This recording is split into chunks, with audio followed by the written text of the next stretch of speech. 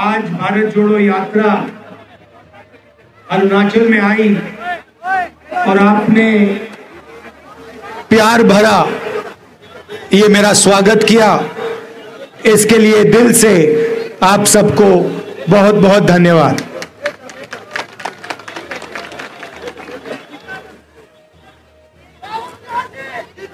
पिछले साल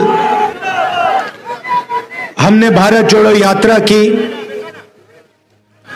कन्याकुमारी से लेकर कश्मीर तक 4000 किलोमीटर हम चले। काफ़ी लोगों ने हमसे पूछा कि 4000 किलोमीटर हम क्यों चल रहे हैं? उन्होंने कहा कि ऐसा काम पहले हिंदुस्तान में आज़ादी के बाद कभी नहीं किया गया तो आप क्यों कर रहे हैं? और हमने कहा, देखिए, आमतौर से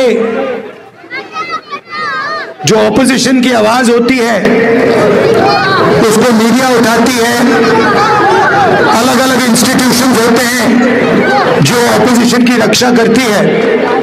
मगर आज के हिंदुस्तान में आरएसएस ने बीजेपी ने मीडिया को कैप्चर कर लिया है।